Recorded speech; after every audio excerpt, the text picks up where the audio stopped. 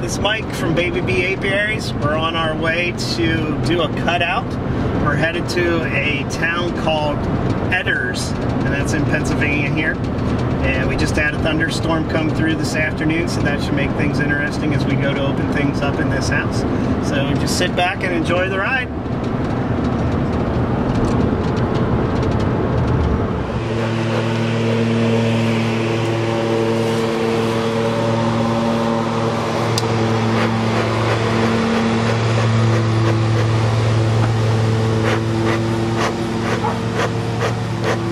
How you doing, Karen? Yeah, I because he said you were right.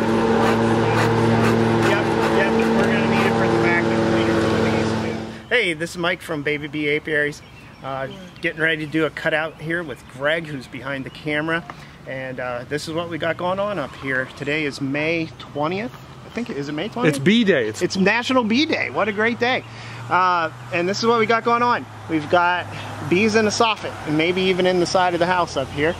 Uh, we're going to find out what's going on. You can see the traffic coming in and out of there. It's big. I'm thinking it's big. I'll show you the infrared uh, pictures that I took of this and we'll get started on it. We open it up, we'll show you what's happening.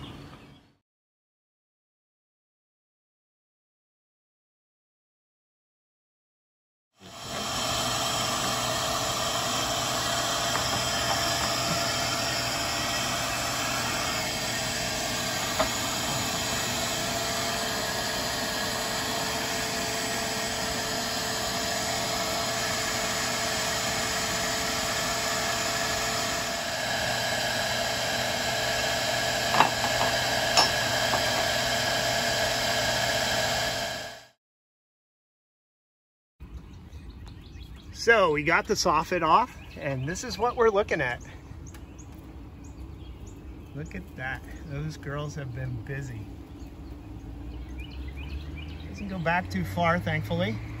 I just don't know how high up it goes. But we're gonna find out. Check out those girls.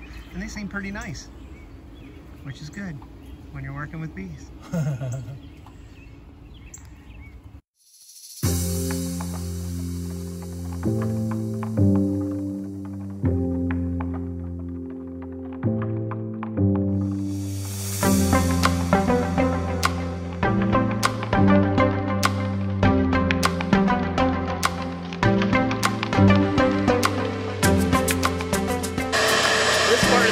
looks fairly new. I'm looking at a lot of white combs. So unless, Yeah. unless it goes way up, it might be older as we get higher up.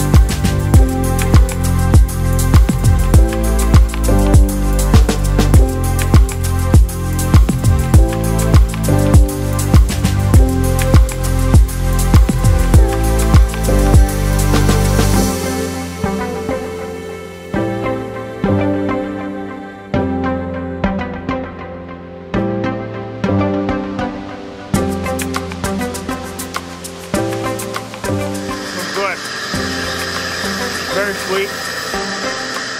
Very clear honey. Excellent.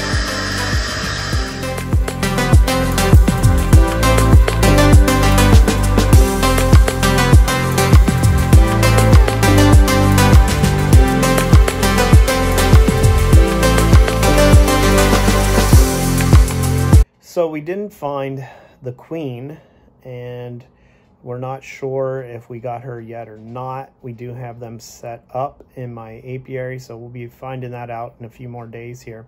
Uh, but we uh, it ended up getting dark on us, and uh, we did finish uh, that evening, but we got tired as well as it took a little while, and uh, didn't get a picture, unfortunately, of us once we got all that comb cleaned out of there. But that's okay. You got the general idea, and uh, hope you enjoyed the video. Like and subscribe. Thank you for watching. Have a good one.